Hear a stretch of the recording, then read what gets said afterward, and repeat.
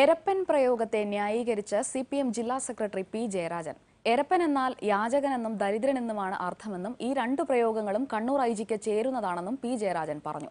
നേതാക്കളെ ഗുണ്ടാലിസ്റ്റിൽ പെടുത്തുമെന്നുവെന്ന് ആരോപിച്ച് ഡിവൈഎഫ്ഐ കണ്ണൂരിൽ ആരംഭിച്ച രാപ്പകൽ നിരാഹാര സമരത്തിലാണ് പി ജയരാജന്റെ പ്രസ്താവന. സർക്കാരിനെയും പോലീസിനെയും കടന്നാക്രമിച്ച് രൂക്ഷമായ ഭാഷയിലാണ് നേതാക്കളെല്ലാവരും സംസാരിച്ചത്. ടി പി ചന്ദ്രശേഖരൻ വധക്കേസുമായി ബന്ധപ്പെട്ട് ഐ ജി ജോസ് ജോർജിനെ വിമർശിച്ച് ചടങ്ങ് ഉദ്ഘാടനം ചെയ്ത ഇ പി ജയരാജൻ തുടങ്ങിയത് ഇങ്ങനെ. ആ കോഴിക്കോട് ജില്ലയിൽ ഏതോ ഒരു ചന്ദ്രശേഖരൻ ആരോ തല്ലിക്കൊല്ലോ കുത്തിക്കൊല്ലോ എന്തോ ചെയ്തു. അതിന് ഞങ്ങൾക്ക് എന്താ?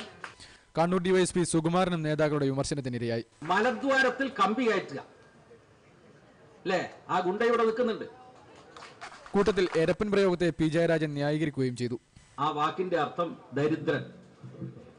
മറ്റൊന്ന് യാചകൻ.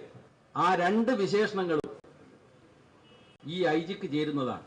നേതാക്കളെ ഗുണ്ടാലിസിൽപ്പെടുത്തി നാടുവിടാൻ നോട്ടീസ് നൽകിയ ഐ ജി തന്നെ നോട്ടീസിന് നേതാക്കൾ മറുപടി നൽകുന്നതിന് മുമ്പ് നാട് കടന്നുവെന്നാണ് അവധിയിൽ പ്രവേശിച്ച ഐ ജിയെ പരാമർശിച്ച് എം വി ജയരാജൻ പറഞ്ഞത്. പിന്നെ പരോക്ഷമായി സൂചിപ്പിച്ച് ഒരു ശുംഭൻ പ്രയോഗവും. കനകസിംഹാസനത്തിൽ കയറിയിരിക്കുന്നവൻ ശുനകനോ ശുംഭനോ എന്നാണ് കനകം സിംഹാസനത്തിൽ ഇരിക്കുന്നവരിപ്പോ ഒന്ന് തിരുവഞ്ചൂരാണ്. മറ്റൊന്ന് തിരുവഞ്ചൂരിന്റെ പാദസേവ ചെയ്യുന്ന ഐ ജി ശ്രീ ജോസ് ജോർജാണ്.